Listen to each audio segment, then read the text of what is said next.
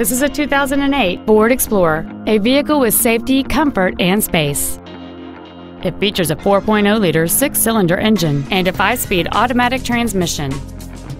Its top features include a power driver's seat, air conditioning with automatic climate control, cruise control, a CD player, a leather-wrapped steering wheel, four-wheel independent suspension, aluminum wheels, a low tire pressure indicator, a rear window defroster, and this vehicle has fewer than 30,000 miles on the odometer.